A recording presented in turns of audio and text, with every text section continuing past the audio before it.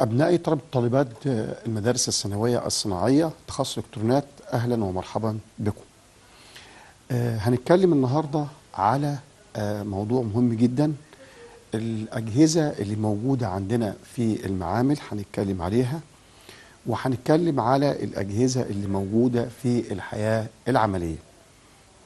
آه، هنتكلم على أجهزة إيه بالظبط؟ هنتكلم على أجهزة الاستقبال. هنشوف الدوائر العملية بتاعتها وهنشوف الكتالوجات بتاعت الأجهزة دي وهنشوف إزاي نقرأ الكتالوج بتاع جهاز الاستقبال الإذاعي يعني أحدد فيه المراحل وأعرف إزاي الإشارة بتتنقل من مرحلة لمرحلة تانية. بمعنى أصح تتبع الإشارة. تتبع الإشارة ده هو أول أساس عندي في عملية الصيانة أو إصلاح الأجهزة. طالما عارف خط سير الإشارة يبقى خلاص سهل جدا إن أنا أحدد العطل فين في الجهاز. طبعا الكلام ده بيحتاج إن أنت لازم تبقى فاهم الدايرة النظرية اللي هي الكتالوج مش الرسم التخطيطي خليك خليك فاكر. عشان تبقى عارف إيه الموضوع بتاعنا هنتكلم فيه إيه بالظبط. هنتكلم آه الرسم التخطيطي إحنا عارفينه وكل حاجة. بس هنبتدي نشتغل النهارده. رسم تفصيلي عملي ونظري. نظري اللي مقصود بمين الكتالوجات مش الرسم التخطيطي. إحنا في عندنا أجهزة تعليمية موجودة داخل المعامل. أجهزة استقبال تعليمية داخل المعامل. اللي إحنا بنتدرب عليها بنتدرب على أعطالها بنتدرب على إن إحنا نحدد المراحل بتاعتها بنتدرب على إن لو في عطل معين أو في جزء تالف أو عنصر تالف إزاي أقدر أوصل له. دي الأجهزة اللي موجودة عندنا في المعامل وفي أجهزة زي ما أنا قلت موجودة في الحياة العملية. إحنا النهارده هنتكلم على الأجهزة دي بالتفصيل سواء كان في الحياة العملية أو الأجهزة اللي موجودة عندنا في آه، المعامل بتاعتنا. وهنتكلم على إزاي كيفية إن أنا أجمع جهاز. إزاي أعمل جهاز استقبال إذاعي جهاز راديو كامل من الألف للياء. جهاز الاستقبال اللي هو النوع المباشر. هنشوف إزاي نحدد العناصر بتاعته نحدد القيم بتاعتها نحدد ترتيب المراحل بتاعتي. إزاي هوصل أطراف كل حاجة عندي الأطراف الخارجية سواء كان أطراف سماعة سواء كان أطراف مكثف متغير أطراف دايرة التغذية. كل الكلام ده هنشوفه بالتفصيل. أول جهاز هنتكلم عليه النهارده اللي هو جهاز الاستقبال البسيط. وده كان أول نوع من أنواع أجهزة الاستقبال أو أول نوع من أنواع أجهزة الراديو. بسيط اسمه جهاز استقبال بسيط. هو اسمه بسيط وهو فعلا بسيط في التركيب بتاعه. هو بيتكون من دايرة اختيار بسيطة عبارة عن ملف ومكثف متغير. وفي ثنائي اللي هو الكاشف. وبعدين في عندي الجزء اللي هو خاص بسماعة الأذن. السماعة الصغيرة. ده تركيبه. عشان كده بن- إحنا بنقول ما بيتحطش فيه السماعة الكبيرة العادية لأن ما فيهوش دايرة تركيب دايرة تكبير. ليه؟ لأن طبعا دايرة التكبير دي محتاجة تغذية. وأنا ما عنديش تغذية في الجهاز ده. الجهاز ده بيعتمد في تغذيته يعني جهد التغذية بتاعه على جهد الإشارة اللي جاي من محطة الإرسال. الإشارة دي كهرومغناطيسيه لما تقطع الهواء بتاع الاستقبال تعمل فيه قوة دافعه كهربية. لأن الهواء بيحولها من إشارة كهرومغناطيسية إلى إشارة كهربية. هي الإشارة كهربيه هي الإشارة فعلا اللي أنا عايز أستقبلها وفي نفس الوقت هي اللي بتقوم بالتغذية. عشان كده بنسميه جهاز استقبال بسيط. طب نشوف شكل العملي بتاع جهاز الاستقبال البسيط ونشوف العناصر الأساسية اللي بيتكون منها هذا الجهاز. نشوف الكلام ده على الشاشة. الشكل العملي لجهاز استقبال بلوري بسيط. وكلمة بلوري يعني أساسا في دايرة الكاشف عبارة عن ثنائي الجرمانيوم اللي هو عبارة عن بلورة الجرمانيوم البي والإم إنما هو الاسم اللي يطلق عليه فعلا بسيط. بص أدي الجهاز كله. الجهاز ده خلي بالك معايا دي قطعة فبر أو قطعة خشبية. وشوف أدي ملف الهوائي اللي أنا قلت لك عليه. والطرفين بتوع ملف الهوائي بص خلي بالك بقى معايا. أدي أول ملف فيهم أهو. راح فين؟ راح للأنتنة. على الهوائي. والطرف الثاني ده ملف رايح to ground على الارضي يبقى دول هستقبل بيهم. ال- ال- المحول ده أو ملف الهوائي فيه مل- م- المحول الهوائي ده فيه ملفين. ملف الابتدائي شفنا أهو. طرف منه على الانتنة والطرف الثاني على ال ground الأرضي. الملف الثاني اللي هو الثانوي واخد مين بقى؟ بص خلي بالك معايا واخد على طرف مكثف أهو والطرف الثاني في المكثف الثاني مع ثنائي الجرمانيوم اللي هو الكاشف. أهو. وده المكثف المتغير. والطرفين بتوع الخارج بتاع الكاشف أو طرف خارج الكاشف أهو رايح على مين؟ على السماعة. طبعا هنا ممكن أحط مكثف تنعيم أو مكثف عشان أشيل مش مكثف تنعيم مكثف عشان أشيل الموجة الحاملة. يعني أعمل عملية كشف إن أنا آخد التردد العالي وأوديه الأرضي. أشكل المكثفات أهي. وبعدين دي سماعة الأذن اللي إحنا قلنا عليها. ليه ما فيش سماعة عادية؟ عشان ما فيش دايرة amplifier أو تكبير. ده الشكل العملي لجهاز الاستقبال البلوري البسيط. في جهاز تاني إحنا اتكلمنا عليه اسمه جهاز الاستقبال المباشر. اهو. الشكل العملي جهاز استقبال الإذاعي المنغم أو المباشر. ولو نفتكر كده خلي بالك بقى معايا نفتكر المراحل بتاعه جهاز الاستقبال المباشر في الرسم والتخطيط تبقى في ذهننا. في هوائي وفي دايرة اختيار وبعدين في كاشف مكبر قدرة مكبر جهد مكبر قدرة والسماعه لازم أخلي بالي من الأجزاء دي وركز معايا كويس قوي لازم تبقى في ذهني. ركز معايا كويس قوي في الكلام اللي أنا بقوله. لازم الحاجات دي في ذهني لأن هي دي اللي أعتمد عليها في إن أنا أقرأ كتالوج أو أشوف الدايرة العملية بتاعت الجهاز. نشوف كده جهاز الاستقبال المنغم أو المباشر. أهو. أدي المراحل بتاعتي. خلي بالك دي الرسمة دي من أعلى يعني على البوردة من فوق. على البوردة من فوق هنشوفها بعد كده منين؟ من أسفل.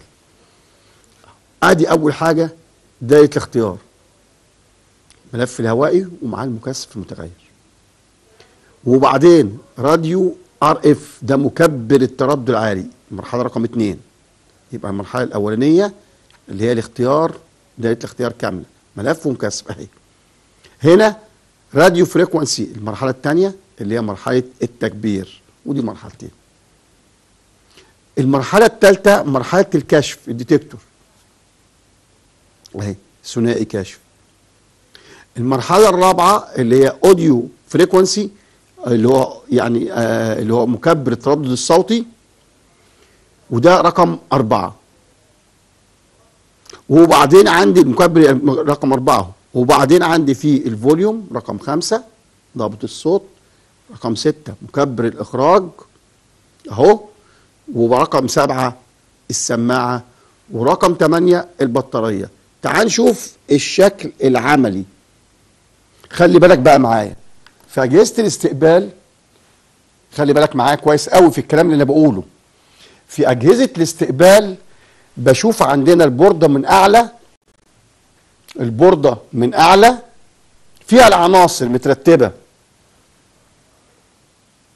والبوردة من أسفل هلاقي عبارة عن التوصيلات بتاعتها.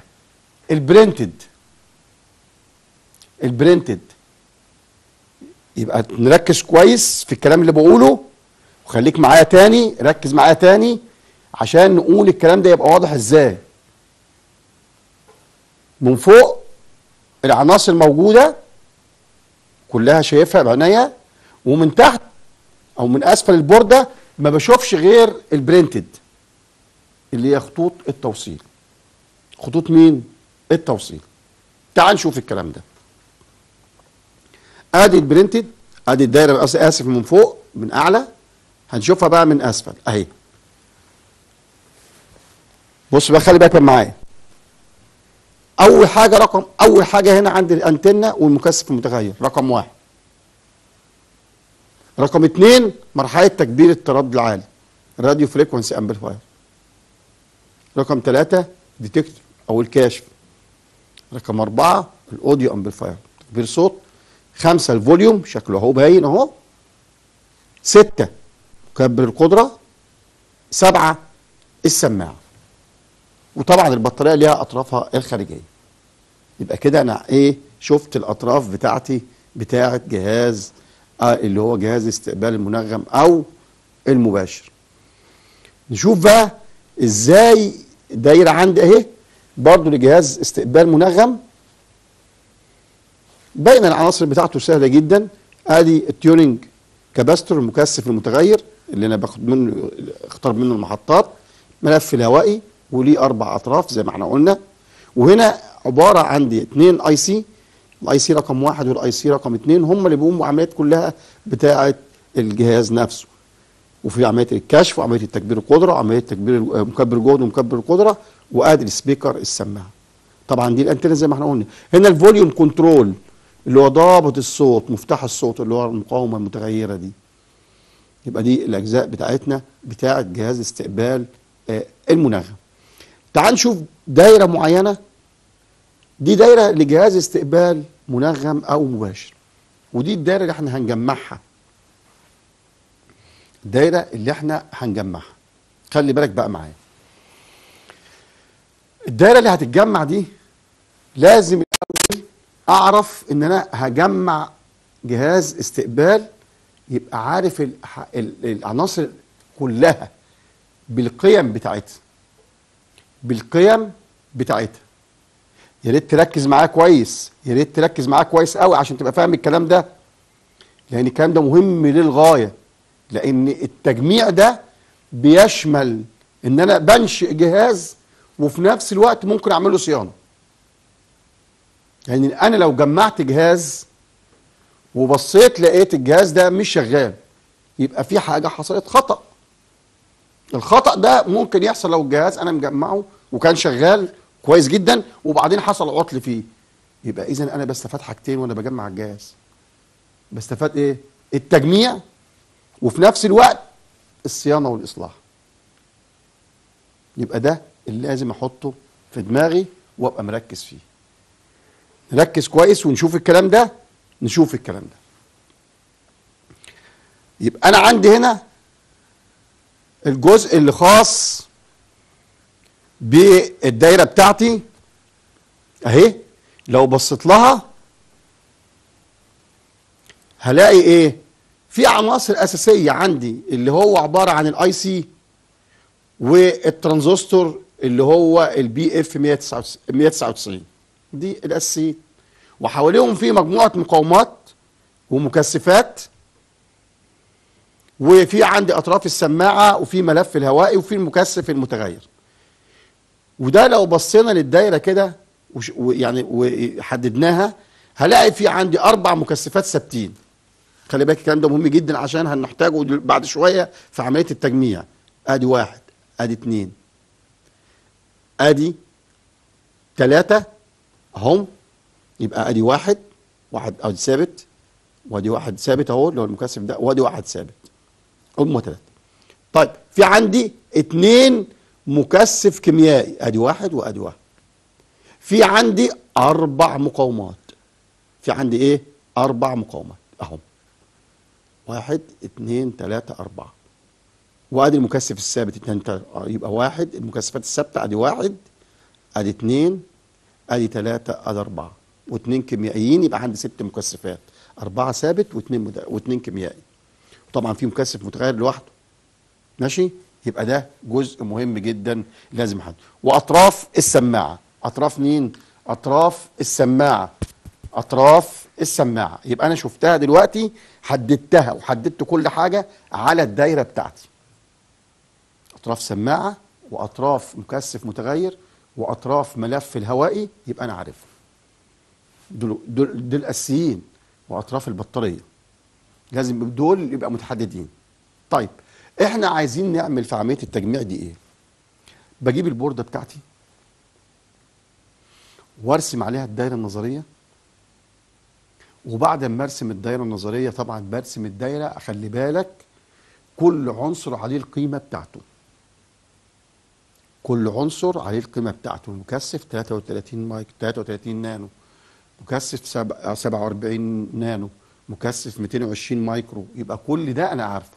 ترانزستور BF 199 ليه بقول لك كده؟ القيم اللي على البورده نفسها اللي مرسومة على الدايرة النظري أنا ببص في العنصر وأشوفه. القيمة دي كام؟ آه مقاومة واحد ونص واحد ميجا. يبقى المقاومة واحد ميجا اتحط هنا. ترانزستور BF 199 آه مكانه هنا. ال IC مكانها إيه؟ يبقى آه، اللي هي LM 386 اهي مكانها هنا. يبقى أنا عارف دلوقتي كل عنصر كأني إيه؟ براجع القيم بتاعت العناصر اللي موجودة على العنصر نفسه مع الدايره اللي أنا هنفذها. وبكده ما بيبقاش فيه احتمال إن يبقى فيه خطأ في قيمة العنصر. لأن لو عملت خطأ في قيمة العنصر يبقى في الجهاز هيحصل فيه عطل. وفي نفس الوقت التوصيل بتاع الترانزستور بتاعي أعرف الأطراف بتاعته. ال base فين؟ collector فين؟ ال emitter فين؟ وأوصلهم صح؟ عشان لو وصلهم اتعكسوا يبقى خلاص الترانزستور مش هيقوم بعمله. ويحصل خطأ أو عطل في الجهاز. يبقى الكلام اللي إحنا هنقوله ده خلي بالك خطوة خطوة هنمشي بيه لأن هو ده اللي هيساعدني زي ما أنا قلت. أنا بجمع في جهاز وبعمل إنشاء لجهاز وفي نفس الوقت كأني بالظبط بعمل عملية صيانة لأي خطأ يحصل في أو أي عطل يحصل في الجهاز. تعالوا نشوف الكلام ده هيتم إزاي. يبقى أنا شفت المراحل بتاعتي أهي حددناها أهي والعناصر بتاعتي أبتدي بقى إيه؟ أشوف تجميع جهاز الاستقبال الإذاعي المنغم المباشر عمليا. تعال نشوف بقى هنبدأ بالجهاز أدي لا الدايرة بتاعتي أهي. الأول اللي هشتغل عليها أهي تمام؟ فيها العناصر كلها زي ما أنا قلت لك أهي الدايره النظري أنتنة في ثلاث المك... الأربع مكثفات الثابتين 33 نانو وهنا.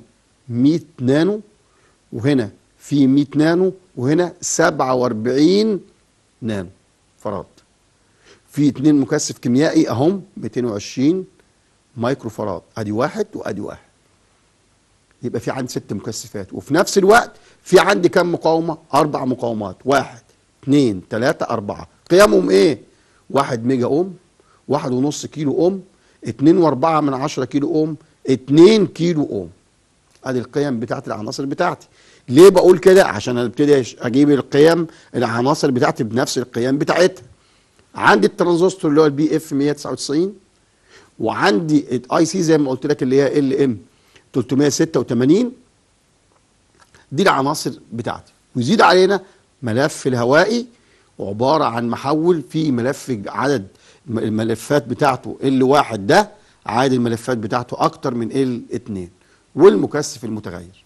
يبقى دي عناصر اللي أنا هحتاجها. تعال نشوف بقى هنجمع إزاي الجهاز المنغم اللي هو البروست راديو AM طبعا جهاز AM اللي هو المنغم لازم أبص تاني. دي الدايرة بتاعتي. زي ما قلت لك هي تمام. هبتدي أحدد العناصر بتاعتي. عايز زي ما قلت لك عايز كم مقاومة؟ قلنا أربعة. عايز كم مكثف؟ ستة. اتنين ثابتين. اتنين كيميائيين وأربعة ثابتين عايز ترانزستور BF 199 أدي أربع أول حاجة أربع مقاومات اللي إحنا قلنا عليهم. أهم. طيب بعد كده عندي في ست مكثفات. أهم. أربعة ثابتين أهم. واثنين كيميائيين. اهو يبقى دلوقتي أدي كده خلصت المقاومات والمكثفات. تعال نشوف بقى العناصر. هنا عندي الترانزستور وال IC الترانزستور BF 199 وال IC اللي هي LM 386 شوف بقية العناصر عندي. أدي القلب اللي أنا هعمل عليه ملف الهوائي. قلب ال ferrite أهو. ده العمود ال ferrite إحنا قلنا عليه اللي هنلف عليه الملفين اللي هو L واحد و L اتنين اللي أنا قلت لك فيهم عدد لفات مختلف. ادي مكثف متغير ليه ثلاث أطراف أهو. وفي نفس الوقت ممكن إن أنا ده كده المكثف وموجود عليه الأكرة بتاعته اللي أنا بختار بيها المحطات. ده مكثف متغير برضه بس عبارة عن ثلاث مكثفات مع بعض اللي هو مازج ومذبذب ومكبر تردد عالي اللي هو بداية الاختيار يعني. عشان كده بنقول إن في ثلاث مجموعات للمكثف. أدي السماعة 8 أوم. بتاعتنا اللي هشتغل بيها اهي. دي السماعه اللي هنوصلها مع الجهاز والقيمه بتاعتها 8 اوم. هنيجي بقى نشوف دلوقتي ادي الدايرة بتاعتي هبتدي أحط كل عنصر على القيمة بتاعته. يعني أنا لو بصيت دلوقتي كده أنا بدور على المكثف ماسك المكثف في 33 نانو وبشوف مكانه فين. أحدده؟ آه المكان بتاعه أهو. تمام. كده أنا بتاكد ببص على قيمه العنصر اللي مكتوب عليه وفي نفس الوقت على الدايره النظري اهو. المقاومه 1 ميجا اهي مكانها. وبعدين ابتدي أشوف المقاومه الثانية اللي هي واحد ونص كيلو. وبعدين ابتدي أشوف المقاومه اللي هي اتنين واربعة من عشرة كيلو. اوم يبقى كل عنصر بحطه على القيمة بتاعته بالظبط. هيجي بقى الترانزستور اللي هو ال BF 199 أدي الترانزستور اللي هو ال BF 199 ونيجي بعد كده لبقية العناصر اللي هي موجود فيها عندي المكثفات وبقية المقاومات نفسها. هنيجي أحط المكثف اللي هو 100 نانو لا 47 نانو أهو. على قيمته في نفسها. وبعدين في عندي مكثف تاني اللي هو 100 نانو اللي واصل على الرجل 3 لل IC.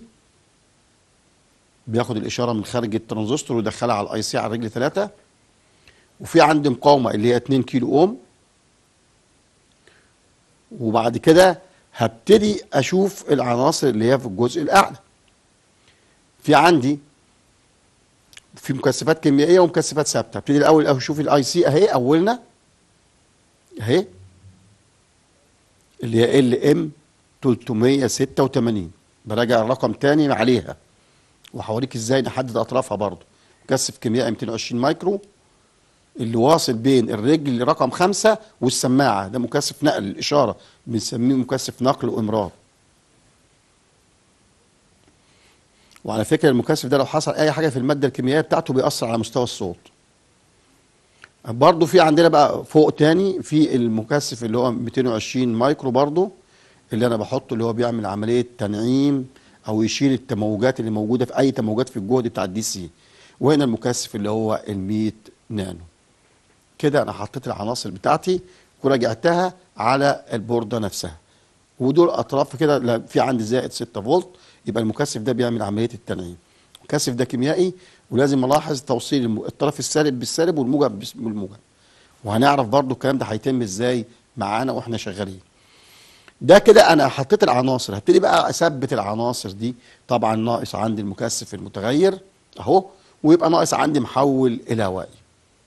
محول مين؟ الهوائي. هبتدي أثبت العناصر دي كلها وأبتدي أشوف الأطراف اللي عندي الخارجية اللي هتبتدي تتوصل. دي كده أنا اتأكدت تماما إن العناصر هي اللي موجودة. ناقص بس اللي هو زي ما قلت لك ال واحد وال اتنين اللي هو ملف الهوائي اللي إحنا شفنا القلب بتاعه.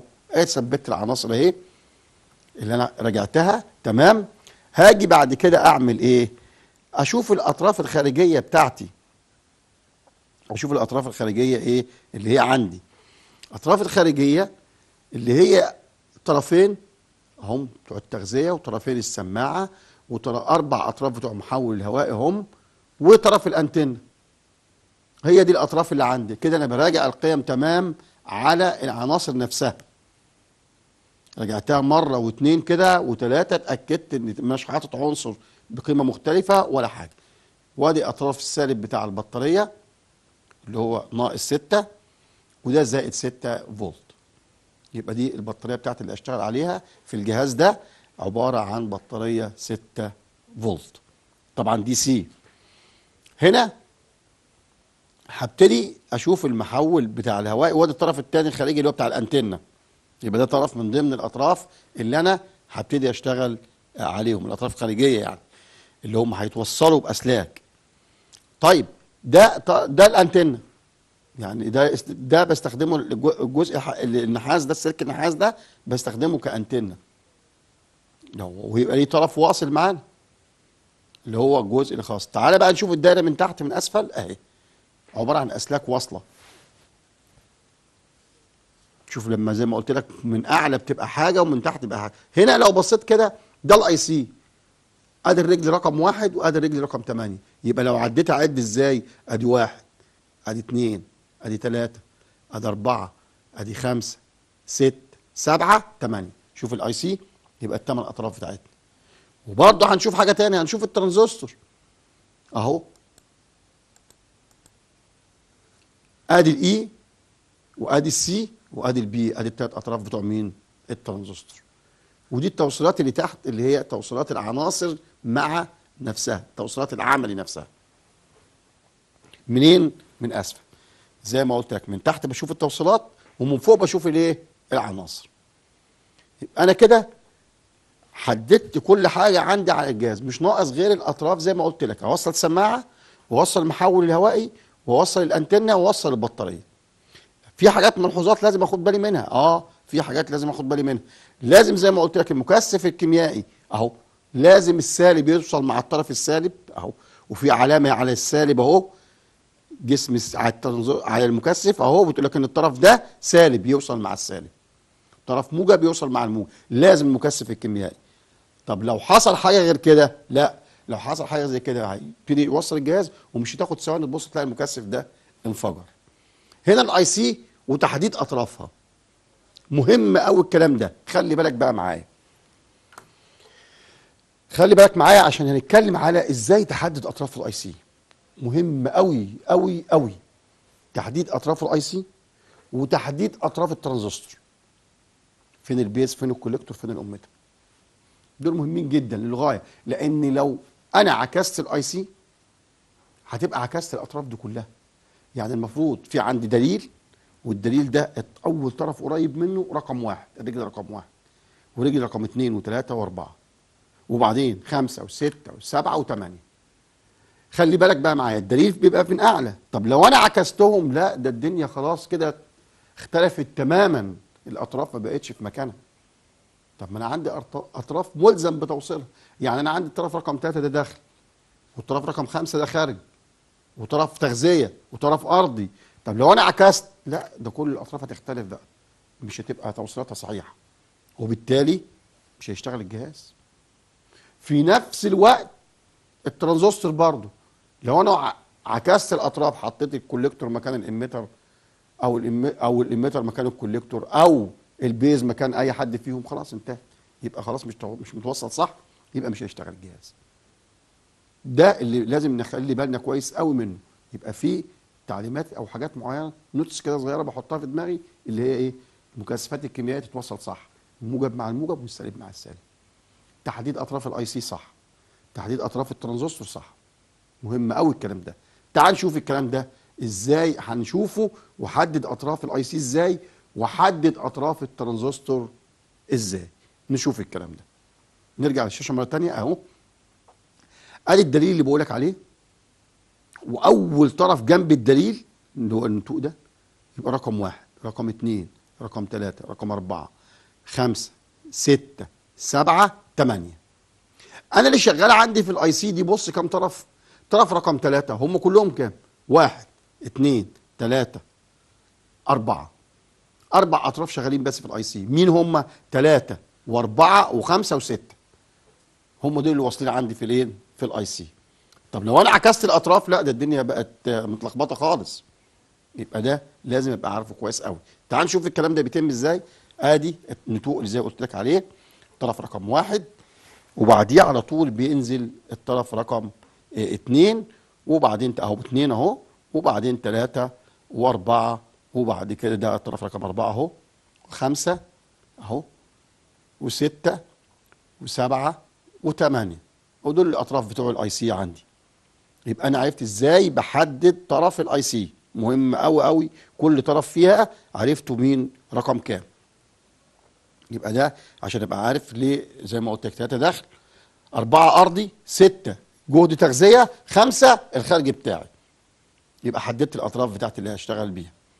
نيجي بقى لمين؟ للترانزستور اللي هو ال BF 199 الترانزستور ده خلي بالك بقى معايا النوع ده بالز... يعني بالأخص بص محدد لي الأطراف.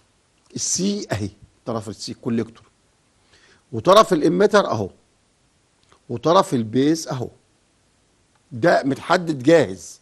يعني أنا مش هتعب فيه. خلي بالك بقى معايا. يبقى أنا مش هتعب في مين؟ في تحديد أطراف. كويس قوي. عشان الأطراف مكتوبة على جسم الترانزستور. بس أغلبية الترانزستورات وإحنا شفناها ما بيبقاش مكتوب عليها الأطراف بتاعتها. مش مكتوب ال C وال E وال B في كذا طريقة إن أنا أحدد بيها ال C وال B وال E أول طريقة وأسهل طريقة إحنا بنستخدمها في عندنا ال data sheet. ال data sheet. ال data sheet ده كتاب موجود على الترانزستورات. بشوف رقم الترانزستور عندي. رقم الترانزستور زي ال BF 199 بدور عليه وليه صفحة لوحده. يعني بيبقى فيه زي فهرس بشوف الفهرس ده ال BF 199 صفحة كام؟ صفحة كذا. زي كتاب صغير. وراح جايب الصفحه بتاعته. الاقي الرسومات الرسمة بتاعة الترانزستور ومكتوب عليها الأطراف بتاعته. الرسمة بتاعت الترانزستور ومكتوب عليها الأطراف بتاعته. ده ده لو الكلام ده كله زي ما بقول لك كده لو مش متحدد الأطراف على جسم الترانزستور. طب الطريقة الثانية عن طريق مين؟ عن طريق الأفوميتر. إن أنا بحدد أشوف ال base فين بتقرأ مع الاثنين في اتجاه ولو عكست ما تقراش تاني عادي ال base. وبعدين باخد بقى ال base مع ال emitter. بيديني قراية على الاوم طبعا وال base مع ال collector بيديني قراية والقرايتين بيبقوا مختلفين. ودايما القراية الكبيرة بتديني ال emitter والقراية الصغيرة بتديني ال collector. ده عشان أحدد الأطراف. والأفضل طريقة فعلا زي ما قلت لك اللي هو مين؟ اللي هو كتاب ال data sheet. يبقى أنا عرفت دلوقتي إزاي بحدد أطراف الترانزستور. حظنا كويس إن في الدايره بتاعتنا إن التر- الترانزستور اللي هشتغل بيه مكتوب أطرافه على الجسم بتاعه. نرجع للشاشة مرة تانية. أهو زي ما قلت لك ال C وآدي ال E وآدي مين؟ ال B يبقى أنا عرفت دلوقتي خلاص التلات أطراف بتوعي اتحددوا عن طريق الجهاز أو ال- العنصر اللي قدام مني اللي موجود. ورقمه هو BF 199 أهو. BF 199 اهو اهو يبقى ده الترانزستور بتاعي أو إزاي هبتدي أعرف الأطراف بتاعته أدي ملف الهوائي اللي أنا هوصله. وهشوف دلوقتي أوصل بعد كده البطارية بتاعتي وأوصل السماعة وأوصل مين ادي الهوائي. خلي بالك معايا في ملف اللي هو ال 2 اللي عدد لفاته قليل وال 1 اللي عدد لفاته كبير أهو. هنا ببتدي يتحرك معايا موصل المكثف المتغير أبتدي أحرك الملفات دي. ونقربهم من بعض ونبعدهم عن بعض لحد ما أسمع أفضل صوت. وبعد كده بثبت الملفات دي عن طريق شمع بحطه على العمود الكربون ده كله وعلى الملفات ويبقى ثابتين لما أوصل لأفضل صوت وأفضل يعني آه، نقاء للصوت. وطبعا ده لازم أهم أنا وصلتهم الطرفين اهم بتاع ال واحد الاثنين وأدي طرف بتاع ال واحد أهو. دول الجزئين بتوعي. طيب هنبتدي نوصل السماعة ونوصل المكثف المتغير ونوصل جهد التغذية وبعدين نشوف بقى الجهاز هيشتغل معانا ولا هيحصل فيه أعطال. نشوف الكلام ده. لو إحنا شغالين صح مش هيحصل أعطال. هادي كده بص خلي بالك معايا كده بقرب الملفات من بعض اللي هو بتحكم في الحس المتبادل بين الملف الابتدائي اللي هو ال واحد والملف الثانوي اللي هو L اتنين. الملف اللي هو خاص بإنه يجيب الإشارة من الأنتنة والملف الثاني اللي هياخد لي الإشارة ويدخلها على الترانزستور اللي هو ال BF 199 يبقى دي الأطراف بتاعتنا زي ما قلت لك. هبتدي يبان خالص إن إحنا لما نبتدي نسمع صوت ونقرب الملفات دي من بعضها أو نبعدها هيبتدي الصوت يختلف معانا. طبعا إحنا بنبتدي نقرب ونبعد لحد ما نسمع أفضل صوت. شوف بقى أنا وصلت السماعة أهو وهبتدي أوصل المكثف المتغير أهو. ده المكثف المتغير بتاعنا وده طرف الأنتنة اللي فوق وده طرف زي ما إحنا قلنا الطرف بتاع الجراوند. أدي السماعة. الطرفين الخارج بتوعها اهم وفي عند الطرفين بتوع الستة فولت اهم الموجب ومين والسالب. هوصل الطرف السالب وابتدي أحرك المكثف المتغير وابتدي أقرب وأبعد الملفات بتاعتي بتاعت الأنتنة. أنا وصلت الطرف بتاع التغذية اهو وابتدي أشوف الملف ده هيوصل الملفين اللي هم زي ما قلت لك هحرك فيهم مع التغيير في المكثف المتغير عشان أسمع أنقى صوت. وبعد ما أسمع أنقى صوت بيبتدي يتحط شمع على الملف زي ما قلت لك عمود الكربون بالملفين ال واحد وال اتنين ويفضلوا ثابتين على طول. طبعا يبان الكلام ده زي ما قلت لك. خلي بالك بقى معايا. بص إيه اللي حصل دلوقتي؟ أنا قلبت القلم ومسكت القلم من الناحية الثانية عشان الكربون ده موصل سن القلم الرصاص ده موصل. شوف أنا بحرك بإيه؟ بالأستيكة. ليه؟ عشان ما فيش شحنة تيجي من إيدي وتوصل لمين؟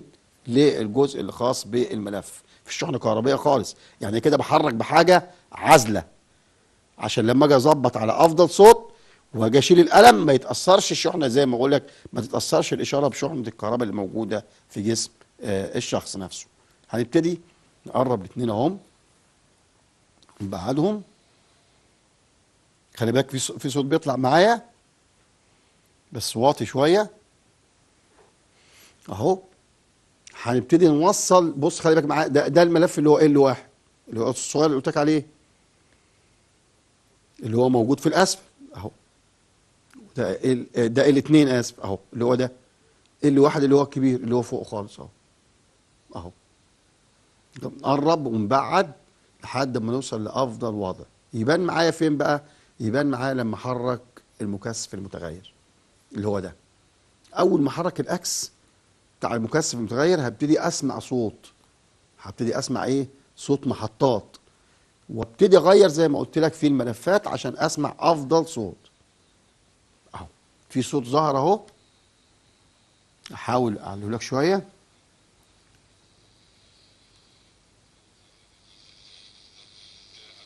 آه ده في صوت اهو.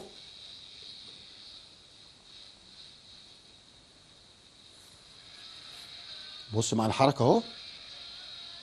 ده صوت محطة. بص مع حركة الملف اللي بيحصل. بيحصل الصوت يولع يعني يوطى أو يعلى. فخليه على أحسن وضع. أهو. دي كده صوت محطات. بتتغير معايا. ده دليل على إن أنا جمعت الجهاز صح. أهو. خلي بالك معايا هو شغال أهو. احرك الملف برضو ده أحسن وضع ليه. بشوف لو في وضع تاني أحسن ليه بشوفه.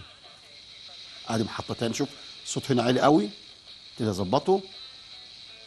ده الصوت المحطة أفضل صوت ليها. اللي هو صوت الموسيقى ده. بحاول أشوف كده بقى أنقى.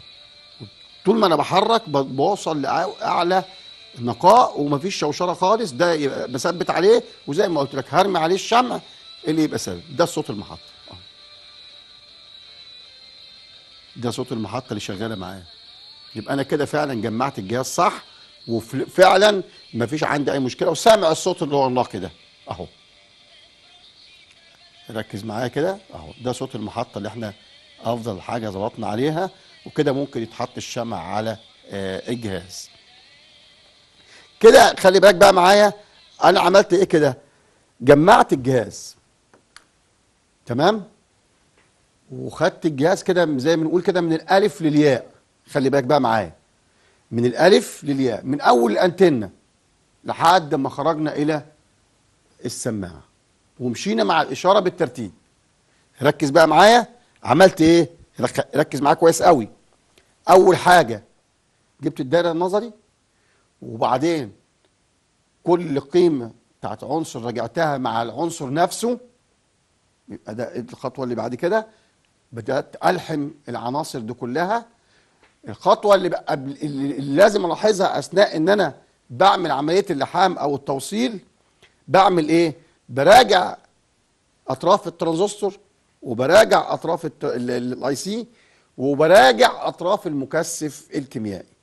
براجع اطراف المكثف مين الكيميائي اللي هو السالب مع السالب والموجب مع الموجب اللي هو توصيله وبعدين بروح حاطط اطراف السماعة حاطط اطراف البطارية بتاعتي وحددت الاطراف بتاعت الملف الهوائي اللي هو الملف الكبير اللي هو L واحد والملف الصغير اللي هو L 2 ووصلت المكثف المتغير ووصلت السلك بتاع مين؟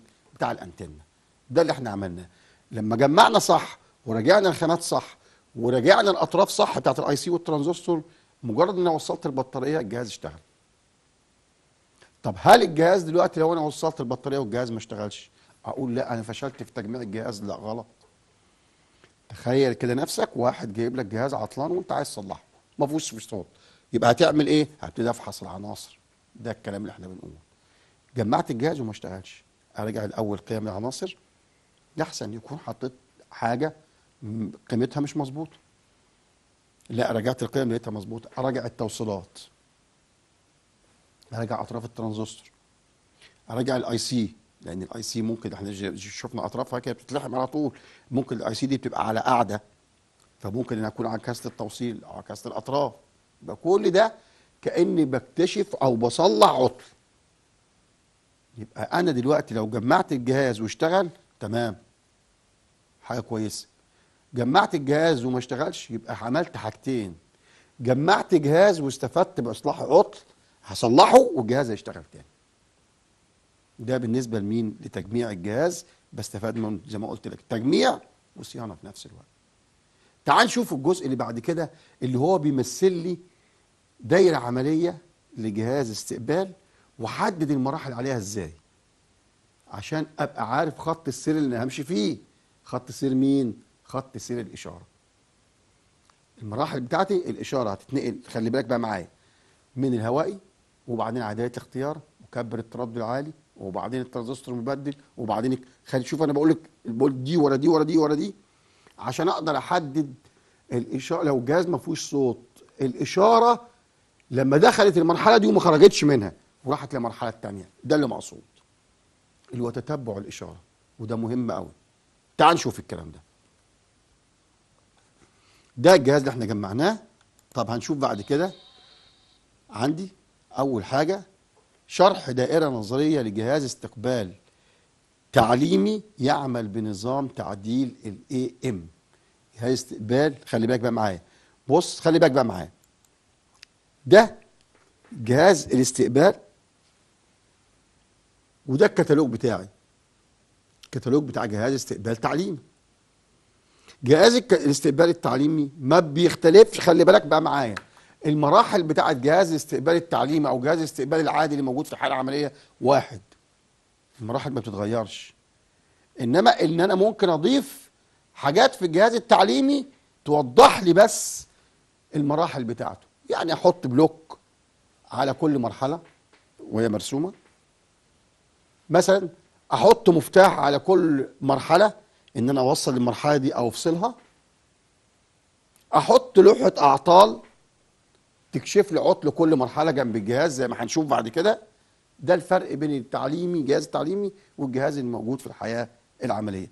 إنما العناصر واحدة والمراحل والمراحل ما بتتغيرش. يعني ما فيش جهاز موجود في الحاله العملية في أنتنة وفي مكبر وفي كاشف وفي كلام. وجهاز التعليم ما فيهوش الكلام ده لا. هو هو نفس المراحل اللي في السوق. بس زي ما قلت لك المراحل اللي في السوق ده والحياة العملية بتبقى عادية خالص. إنما التعليمي ده إحنا بنبقى موجود عندنا في المعامل عشان أدربك على الأعطال وأدربك على إنك تعرف تسلسل المراحل. نرجع للشاشة مرة تانية ونشوف الكتالوج ده هنقراه إزاي. ده كتالوج بتاع جهاز استقبال إذاعي اي ام وبص بقى هناخدهم مرحلة مرحلة. بص أول مرحلة عندي أهي الهوائي أهو. وبعدين مكثف متغير. أهو شوف كل دي دايرة نظري أهي كتالوج. هحدد المراحل دي كلها وبعد كده نشوفها كلها عملي. وبعدين في عندي ترانزستور مبدل اللي هو شغال كمكبر تردد عالي ومازج. وبعدين المرحلة اللي بعد كده في عندي ال oscillator أهو ال oscillator اللي هو المذبذب. بعد المذبذب ودخلت على المبدل ده هيطلع عندي التردد المتوسط. أول حاجة تقابلها الإشارة لما تخرج من المبدل ده تقابل أول محول تردد متوسط. أهو. أهو. اللي هو لونه أصفر. وبعدين تخش على أول مكبر تردد متوسط الترانزستور ده. أهو. 1 IF اللي هو المكبر. وبعدين تخش على تاني محول تردد متوسط. وبعد كده تخش على تاني مكبر تردد متوسط. وبعد كده تخش على تالت مكبر محول تردد متوسط. وبعدين تخش على مين؟ على الكاشف. الثنائي اهو. كاشف AM وبعدين هتخش على ال volume المقاومة المتغيرة اللي هو ضابط الصوت. تخش على ترانزستور مكبر القدرة مكبر الجهد. وبعدين ده كل الدايرة دي مكبر قدرة. فيها محول الدخل بتاع مكبر القدرة بتاع الدفع والجذب وفيها الترانزستورين اللي شغالين كمكبر قدرة الترانزستور ده والترانزستور ده. طبعا واحد بيشتغل واحد بيفصل وبيعكسوا مع بعض. وبعدين محول الخارج بتاع آه، مكبر القدرة وبعدين السماعه أدي الكتالوج بتاعي قريته وفي نفس الوقت كأني ماشي مع الإشارة. أهو. إشارة أهي من الهوائي وبعدين المكثف المتغير هاخدها تخرج من المبدل. أول محول أول مكبر ده متوسط تاني محول تاني مكبر ده متوسط تالت محول كاشف فوليوم مكبر جهد مكبر القدرة والسماعه عرفت التسلسل بتاع مين؟ بتاع الإشارة دي ماشية إزاي؟ الكلام ده دلوقتي شفناه على مين؟ على الكتالوج النظري. خلي بالك بقى معايا. يبقى أنا شفت الكتالوج النظري وشفت المراحل بتاعتي تمام؟ وشفتها مرحلة مرحلة. وعرفت الإشارة هتتنقل منين؟ الإشارة هتتنقل منين؟ وهتروح فين؟ هتخرج من الهوائي وتخش على المبدل.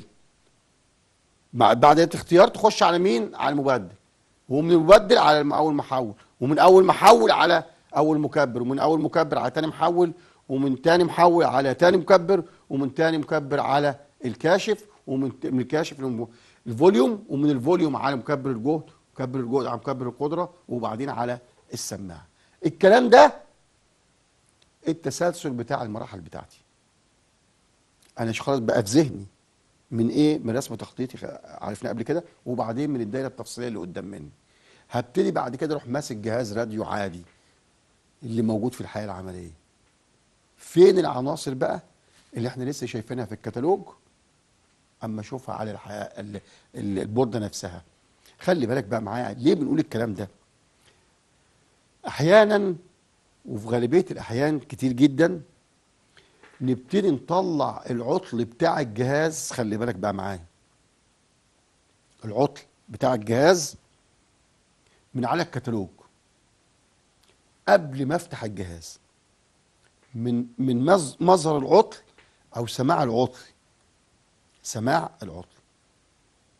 يعني أجي أقول مثلا جهاز عندي على سبيل المثال جهاز عندي صوته واطي. منخفض. إيه اللي هيتم؟ الصوت الواطي أو الصوت المنخفض. أبتدي أشك في مين؟ أشك في المكثفات الكيميائية اللي بتنقل الإشارة من مرحلة الإخراج للسماعة أو مرحلة المرحله الأو- من مرحلة مثلا مكبر الجهد لمكبر القدرة. مكثفات كيميائية بشك فيها.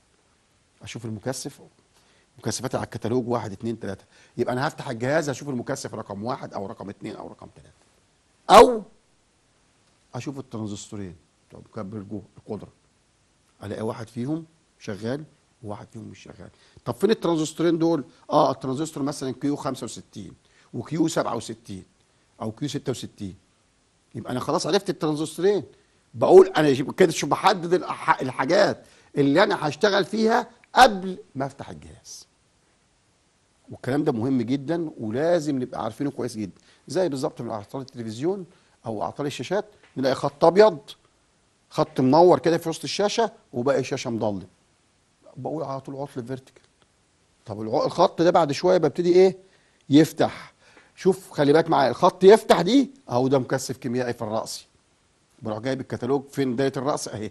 المكثفات الكيميائية قيمتها قد إيه؟ وأرقامها قد إيه؟ واحد اتنين تلاتة أربعة.